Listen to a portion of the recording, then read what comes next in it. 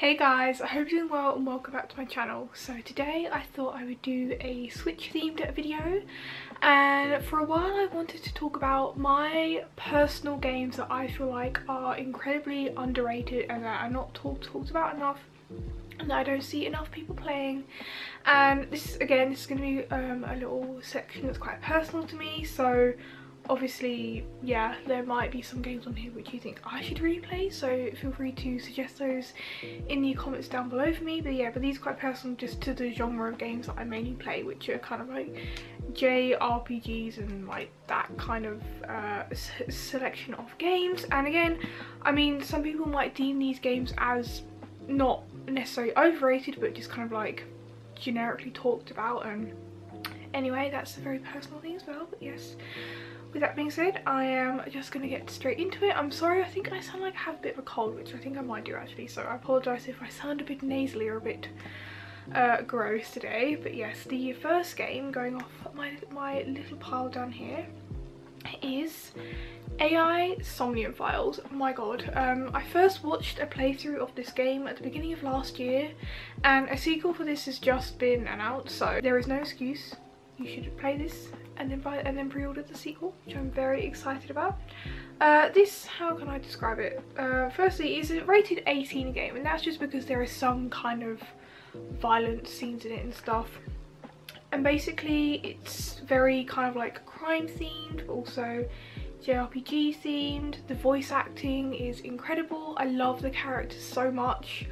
Um, yeah, I don't want to say too much about it without spoiling, but yeah, if you're into your kind of like mystery crime games, but you like the anime theme, voice acting, kind of like generic gameplay of JR JRPGs, then I would definitely pick this up. You kind of like solve puzzles in like a dreamlike world. So again, if you're into like puzzle solving, solving and all that sort of stuff, then you like honestly like you can't tell it from the cover, but just it's so honestly it's so good and it's definitely one of my favourite Switch games and I'm probably going to replay this before the sequel comes out uh, next spring, I, I, believe it is. The next game I have, or this is like a series of games, but the newest one came out, which is just the whole Mystery Dungeon series. I don't think, maybe this has changed now since Rescue Team DX has come out last year but like for me personally the Mystery Dungeon series besides the main Pokemon kind of like mainline games are like my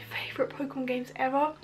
I played them since the very beginning so since Red Rescue Team and Blue Rescue Team on the Game Boy. My personal favourites are Explorers of Time and Darkness on the DS and Explorers of Sky and I'm so hoping we're going to get a remake of those on the Switch because they definitely deserve it. But yeah, but basically the premise of every Mystery Dungeon game is that you somehow wake up in the Pokemon world. You've been turned into a Pokemon, you don't know why. Every single game is sort of like a bit of a, of a different reason and then through kind of like some kind of guild or something or through making other po Pokemon friends, you form kind of like a rescue team and then you basically go explore dungeons, completing missions and obviously completing the storyline and it's just, there's just something so enchanting about it and literally Every single Mystery Dungeon game has not failed to make me cry at the end of it, trust me. You will bawl your eyes out at the end of this, like, you wouldn't think it, but this stuff is heart-wrenching and I don't know, for a Pokemon game I think that's something because every sort of Pokemon RPG has the same sort of generic storyline but the Mystery Dungeon ones are really special especially it's just cool being able to play in an actual Pokemon as a Pokemon instead of just as a trainer who has po po Pokemon and also just the whole dungeon crawling aspect is really fun as well. If you're into that then just trust me you'll just adore this game like uh, there are some people who think who obviously you know aren't really into that sort of side of gameplay and they like games more for gameplay and not story. So you know if that's you then yeah you may find the dungeon crawling aspect boring or whatever but for me a game is a lot more than that. So this yeah this is always going to be up up there for me. The next game is one that literally saved me as Steven during the pandemic and that is 51 Worldwide Games. This came out last summer and my god like it's just I don't know basically we have become addicted to the pool on this. There is obviously 51 different kinds of games. There's card games, there's pool, there's Connect 4, there's like just darts, like there's just, you know, every kind of sort of generic game you could think of, it's on here. And not only can you play two player, we, we each have a copy now. He got me my own copy when I was in hospital so we could still play pool online together, which we did a lot um, several times a week, which really helped. It was really nice just being able to still play with this him even though when I was all the way up in York. And we'll normally just sit and like play this together on the front room and stuff. And we also take this one when we go to Wales. This is a really nice one just to like chill out with. I don't know it's just sometimes you don't want to get into a super heavy story or game and sometimes the two players you're like I don't know what do you want to play. I'm just like pool just have a few a few games of pool. And it's just nice and relaxed especially in the evenings if like you're tired and stuff. And like we've always kind of like we've always liked pool um, but trust me since playing this we've just become very ad addicted to it and honestly if you're just after a simple game just to play with friends this is definitely worth the buy. The next one I have is Captain Toad Treasure Tracker. Now this was originally released for the Wii U like good five years ago or something now and I was so happy when it got a re-release for the Switch and port. Like if you're in, if you just love Toad and you love like puzzle games like it's just it's just so cute and fun and wholesome and I really love the style of like the cube worlds. If you played it you'll, you'll know what I mean. I do a terrible job of explaining games like, so I'm so sorry. I'll probably insert like some trailer footage of each game because I'm just suck at explaining them but um yeah they're just like these cube worlds and you just have to use Toad and follow him about to solve the puzzles to get the like diamonds that, that you collect and just make your way through the levels and then it's also got like Toadette in it as well. I love Toadette. She like needs like her own game entirely and she also needs to come, come to Smash but yeah. I just love Toad and just yeah his little cute voices and it's surprisingly challenging actually. It's actually quite hard and the Switch one has courses from Odyssey so that's a cool little added bonus as well.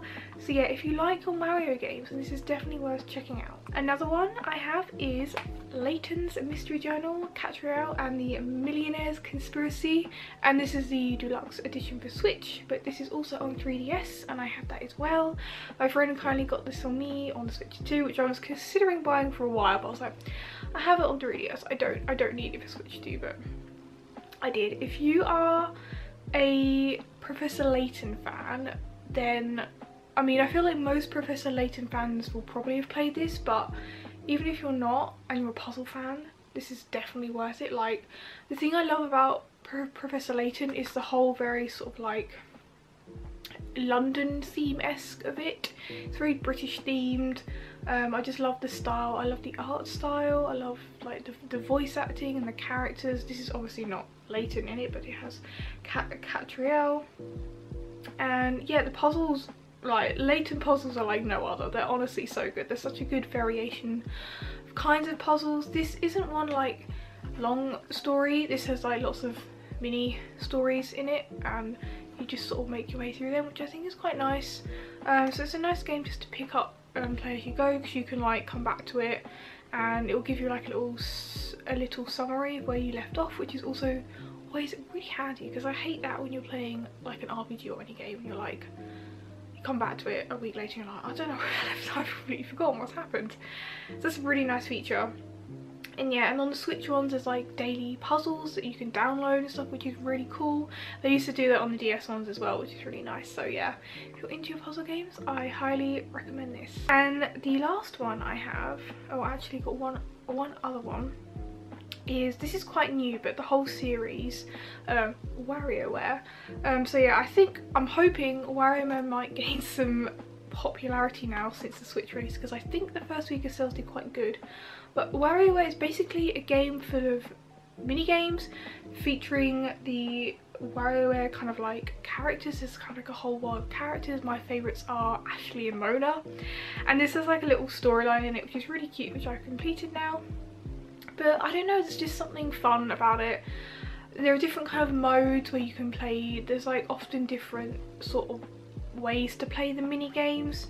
In Switch one it's you're I'm trying to think how to explain it but all the different characters have like different mechanics and that in interacts with the games in like a different way you'll see what I mean if you play it but it's just really fun again it's a nice game just to pick up and play for a bit and For me, I have terrible concentration, so this is a game that really keeps me very like focused, which I kind of need. So this and like rhythm games, um, yeah, are really really good for my brain.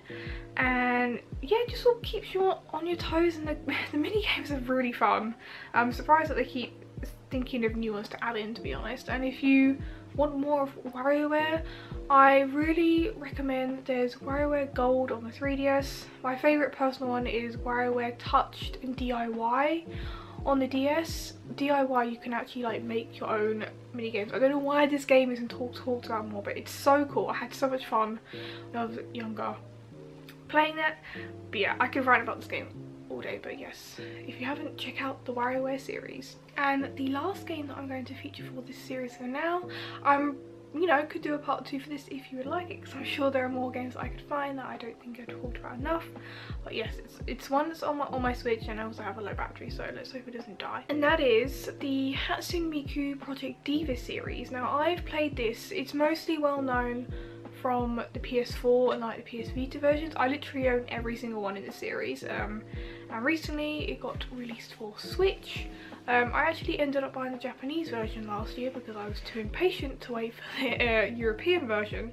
But I might buy the European version because I want to get the bundle because you can get like extra downloads and stuff and extra new songs. But again, if you're a person who really struggles with concentration and stuff, rhythm games are just like, probably can't see, that now. Rhythm games are just honestly so good and if you're like a bit of a weeb like me, then Hatsune Miku and that whole vo Vocaloid world is just really fun and enchanting. And yeah, I personally really love the songs that are on it. Again, if you're not really into Vocaloid stuff, you would like this game. But um, trust me, Hatsune Miku is just, yeah. This, this is just a game that I can go back to time and time again. I really like playing it on train journeys I would. Um, often like put headphones in, it's a really good thing just sort of zone out with. So yeah, if you're into rhythm games and you haven't played Hatsune Miku then please do, it's so good. So yes, I think that about is about it for some of my favourite underrated video games for Switch.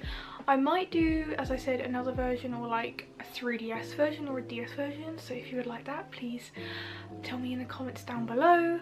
Other than that, I hope you are all doing well and I'll see you all again very soon. Bye!